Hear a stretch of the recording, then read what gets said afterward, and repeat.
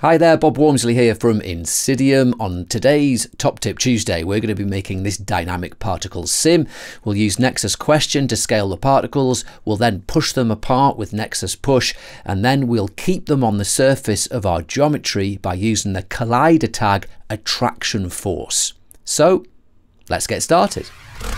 In our scene then we have this torus primitive and we have an XP emitter. We're going to emit particles on the polygon area of our torus and in the emission tab look we're doing a shot 10,000 particles with no speed. So if we hit play we've got our particles there on the surface of our torus. Now the effect we're going to do is we're going to animate the size of these particles uh, by animating their color. So to do that, we're actually going to use an X particles color modifier. Let's go to INSYDIUM, X particles, modifiers. And we want to control the XP color.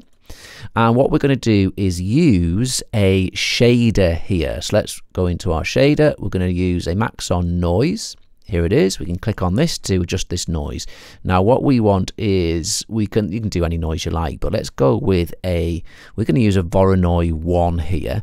Let's put this scale way up so it's massive and we're going to add a bit of clip and we want a bit of animation speed as well actually let's put that on say 0.2 if I right click on that and click animate we can see our noise animating in the thumbnail Okay, cool. So now that we have that, let's hit play and we should get, yeah, look, we can see that noise animating. Let's just make the torus invisible.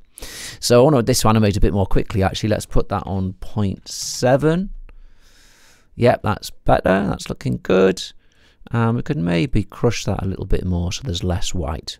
Okay, so what we're going to do now is we're going to set up a question and action system so that when these particles are white, they go big, and when they're black, they shrink back down. So let's go to INSYDIUM, xparticles Nexus, and we're going to do it with Nexus question. And what we're going to say is, let's ask a question. We're going to say, if the particle, and we want to ask a, a question of the particle color, not the age. So let's change this to color. If the particle color, and we want to look at the color brightness, the black and white values, if the particle brightness is uh, less than 0.1, which is really dark, then we want to make them really small. So let's add an action. And we don't want to set the color, we want to set the radius, obviously. So let's put that on radius, and we're going to put it on zero. And what we want, we don't want it to happen immediately. We don't want it to snap to zero as soon as they get dark. We want it to kind of uh, gradually animate to zero. So to do that, we can just reduce this weight right down. So something like that. And then what we want to do is do a similar question, but now this is for to get them to grow. So let's just hold control, duplicate that. And in this one, we're going to say if the color brightness is greater than, say, I don't know, 0.7. So this is the light one. When they're light, we want to set the radius to whatever the amount is that we want. So let's put it on maybe, I don't know, 26 for now. So let's see if this system works. Yep, so they're growing, and then when they go black, they're shrinking. Excellent. Now we can make some tweaks for this, but that basic setup is working. Black particles shrink down. I think we could get them to shrink down a bit more quickly, actually. Let's go to our question.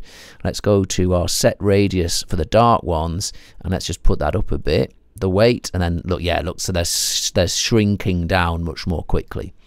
So that is our basic question and action setup.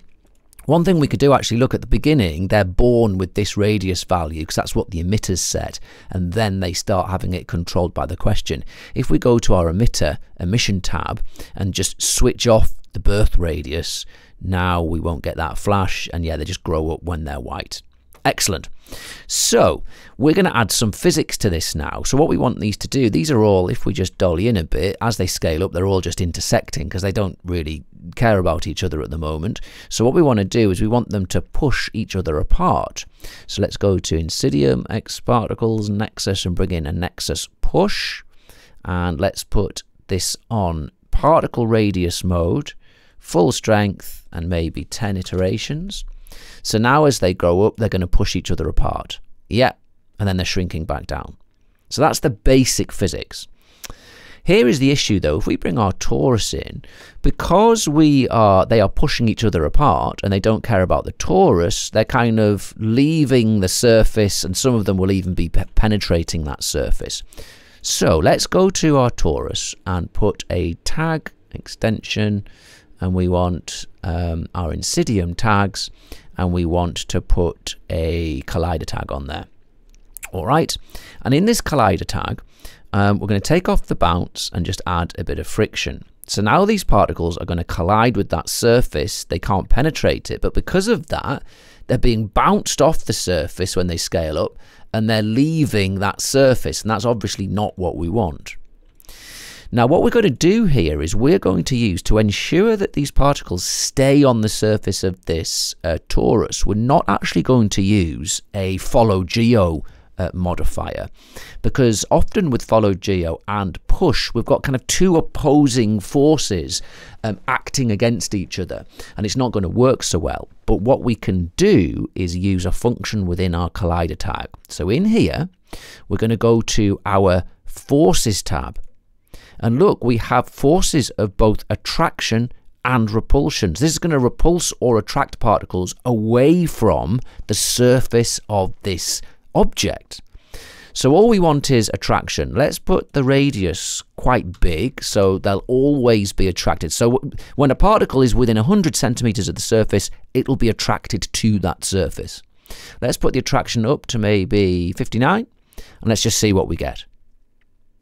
And yeah, look, immediately those particles are attracted to the surface, but the push is pushing them apart but they're perfectly hugging that surface. That's looking really cool.